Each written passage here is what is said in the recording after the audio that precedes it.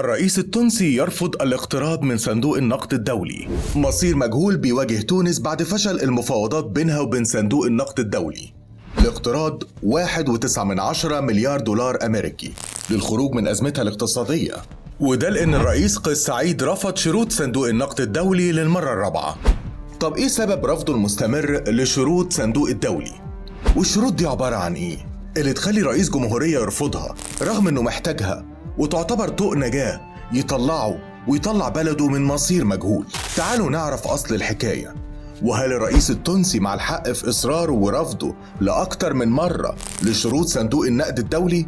وإيه مصير الدولة لو وافقت وخدت القرض؟ بداية الحكاية إن تونس في الفترة الحالية عندهم أزمة اقتصادية شديدة لدرجة إن حتى السلع الغذائية الأساسية زي الرز والسكر والقهوة اختفت من رفوف المتاجر هناك حتى الأدوية الطبية بقت غير متوفرة في الصيدليات. طب ده سببه إيه؟ اللي تسبب في الحال ده هو إن احتياطي النقد الأجنبي في تونس تراجع جدا والاحتياطي الأجنبي ده يعني كل العملات الأجنبية المحتفظة بيها الدولة في بنكها المركزي من دولارات أمريكي واسترليني ويورو وين ياباني.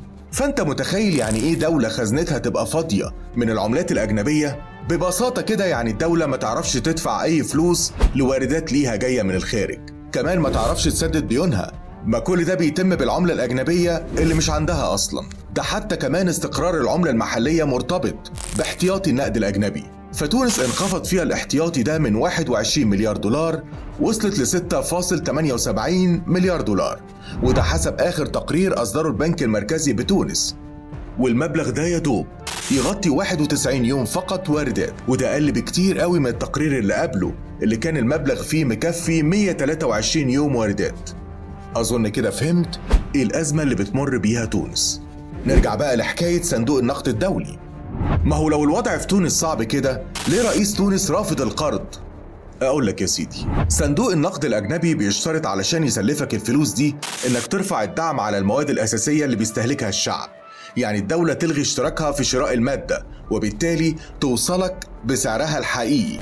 من غير أي تخفيض زي البنزين والكهرباء واستهلاك المية وهلم جرة كمان صندوق النقد الدولي بيشترط على الدولة إنها تقلل كتلة الأجور وده معناه إن المرتب يثبت وما يعلاش.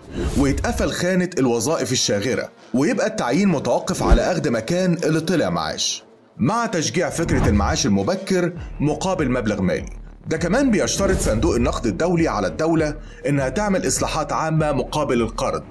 زي طرح حصص من الشركات العامة والأصول الحكومية المملوكة للدولة للبيع لمستثمرين أجانب. ودي أكتر حاجة بتقلق في الموضوع لأن ده مقابل سداد أقساط القرض اللي لو الدولة عجزت عن سدادها المستثمر هيبقى مسيطر سيطرة كاملة على الأصل اللي اتباع وده معناه إن اقتصادك في ذمة الله. حاجة كده تخليك تطلع جمال عبد الناصر من قبره يعلن خطاب التأميم وتعيده من أول وجديد. دي ببساطة شديدة شروط صندوق النقد الدولي مقابل منح القروض واللي شافها رئيس تونس إنها عاملة زي شرارة النار جنب مواد شديدة الانفجار حسب تصريحاته. طب إيه البدايل اللي شايفها الرئيس قيس تخرجه من الأزمة الحالية؟